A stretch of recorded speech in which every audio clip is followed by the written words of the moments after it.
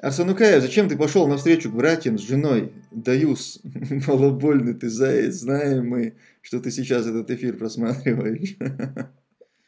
Но я, мне очень сложно теперь понять его жену. Вот это вот сложный момент. Я, я не знаю, как она дальше с ним будет жить. Как дальше рожать от него детей? У тебя реально очень сложная ситуация. Все сдулись. Оказалось, что этот путь э, Ахмата Кадырова, э, вся его напыщенность, это всего лишь пшик. Это как вот дезодорант, когда заканчиваете, знаете, вот он вроде бы пшик делает, но какого-то смысла в этом уже нет, он не распыляет э, ничего. Но пищит, пшик-пшик-пшик на последних порах делает. Вот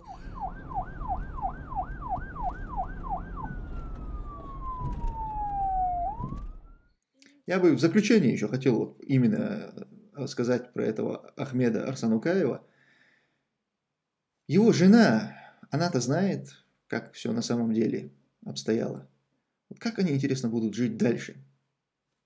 Как он будет смотреть в глаза своей жене? Тот, кто говорит, что он на пути Ахмата Кадырова, что он а, до конца там пойдет на этом пути, рад умереть на этом пути. Как, как он объяснит своей жене, что когда у него была возможность на этом пути умереть, ну или хотя бы заявить об этом – он не смог это сделать. Вместо того, чтобы одному выйти и встретиться со своими э, противниками, он вывел свою жену с ребенком вместе с собой. Там, где никто не угрожал его жене и ребенку, он при этом говорит, что им угрожали. Но жена-то знает, что ей не угрожали. Они наоборот, оказывается, после того, как поговорили, уходили, а, еще ребенку там 200 лир дали денег в качестве подарка. Жена-то это знает. И он это не отрицает в своем разговоре с Халитовым, это подтверждает, что дали денег. Все это ладно, вот все я понимаю, да? Ну, точнее, не понимаю, но принимаю как-то. Но вот с женой я не могу это принять. Я пытаюсь это как-то на себе вот примерить эту тему, и я, я не представляю, каково это теперь. Ты должен с ней жить, ты должен жить с человеком, который знает, что ты трус. Ты, ты живешь с человеком, э, опорой для которого ты являешься, ты щит – своей семьи. Твоя жена должна чувствовать в тебе свою защиту, что в любой ситуации, когда нужно будет защитить свою семью, ты не струсишь. Она должна в своем муже видеть вот эту вот надежную опору. И как вот, как дальше они собираются жить, мне непонятно. Ведь жена прекрасно понимает, как на самом деле обстоят дела. Что даже даже после того, как все это произошло, да, все, они разошлись, вместо того, чтобы теперь э, пригласить там своих товарищей, которые на пути Ахмата Кадырова, как он говорит, пригласить их к себе, вместе потом выйти и там как-то отомстить за то, что им сделали, как они говорят. Вместо этого он спешно берет свою жену и ребенка и уезжает из Турции. А уехав уже издалека, начинает махать пальцем и ругать стариков, оставшихся дома, родственников Халитова там, и других. Ну, ну, субханаллах, насколько это недостойно. И как теперь вот жена должна с этим человеком дальше жить? Родственники а, его жены. Что вы об этом думаете? Что вы об этом скажете? Это достойно ли это для вас взять?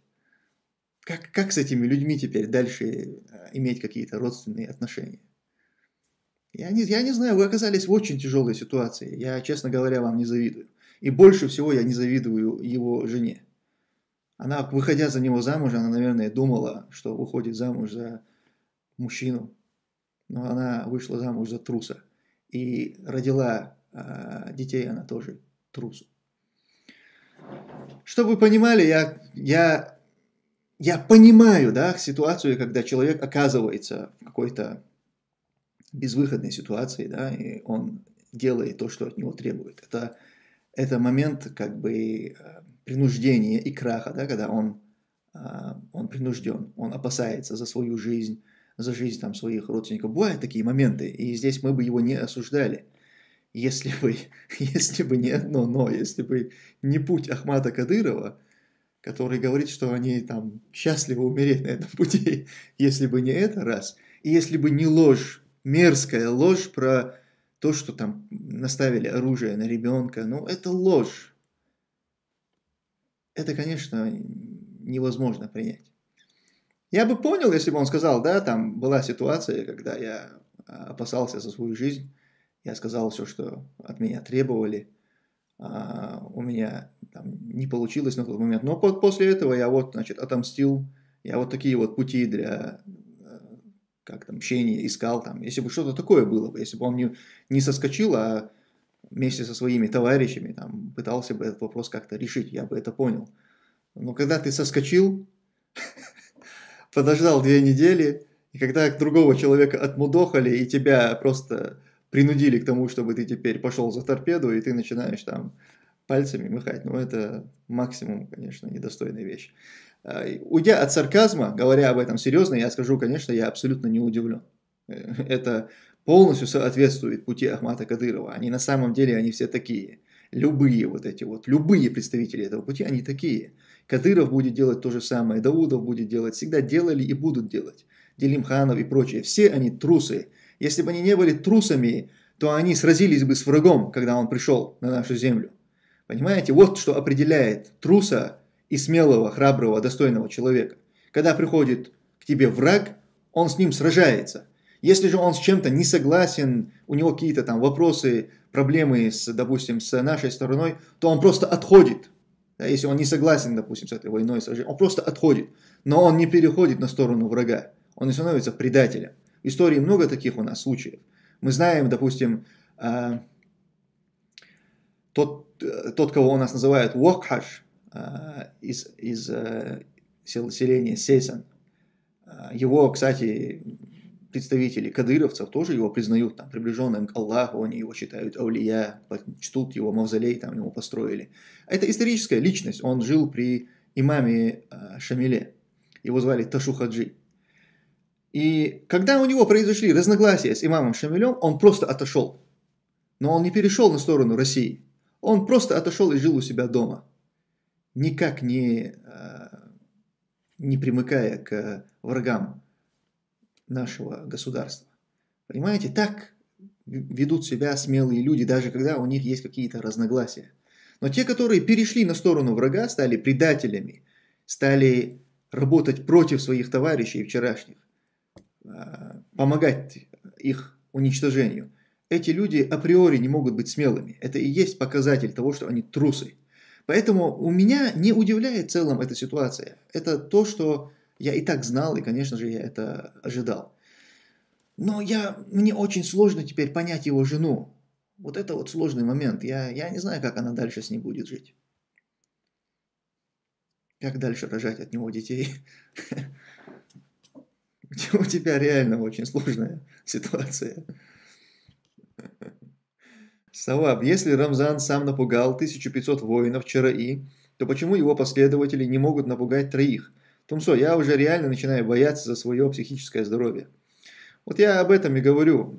Мы с вами представляли этот путь таким мощным, храбрым, смелым. Кадыров 1500 человек просто разбрасывал. Даудов там каких-то, э, как он сказал, э, Орам, Бакрина, как это на русском? Корень, говорит, я там ваш уничтожил у себя. Типа, ну, короче, они все такие мощные, смелые ребята. Но тут все сдулись. Все сдулись. Оказалось, что этот путь э, Ахмата Кадырова, э, вся его напыщенность, это всего лишь пшик. Это как вот дезодорант, когда заканчивается, знаете, вот он вроде бы пшик делает, но какого-то смысла в этом уже нет, он не распыляет э, ничего. Но пищит, пшик-пшик-пшик на последних порах делает. Вот то же самое с этим путем Ахмата Кадырова, когда есть возможность показать его, какой он на самом деле, продемонстрировать эту смелость, храбрость, а получается просто вот этот дезодорантовский пшик. Арсанукаев, зачем ты пошел навстречу к братьям с женой? Даюс, малобольный ты заяц, знаем мы, что ты сейчас этот эфир просматриваешь. Салам алейкум, брат Тумсо.